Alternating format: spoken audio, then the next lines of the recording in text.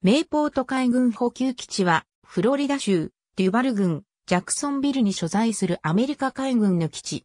基地には 8001X200 フィートの滑走路を持つ、アドミラル・デビッド・イル・マクドナルド・フィールドが併設されている。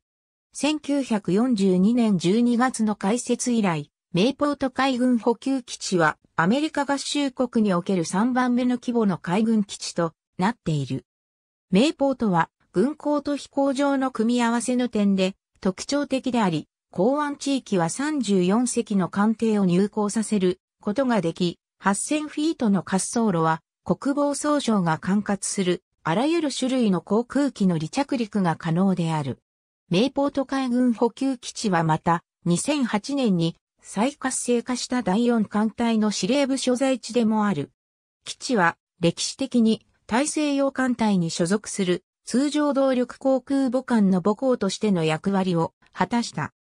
その中には、シャングリラ、フランクリン・ディルーズベルト、フォレスタル、サラトガが含まれ、最近では、ジョニー・ F・ ケネディが活動していたが、海軍は通常動力空母の運用を取りやめたため、現在メイポートを母港とする空母は存在しない。しかしながら、議会の上下両院は原子力空母を運用するため、メイポートを春節して回収するための費用約7500万 US ドルを認可する法案を可決した。2018年3月現在、沿海域戦闘艦3隻、巡洋艦4隻、駆逐艦4隻、揚陸艦3隻、小海艇3隻の艦艇が所属する。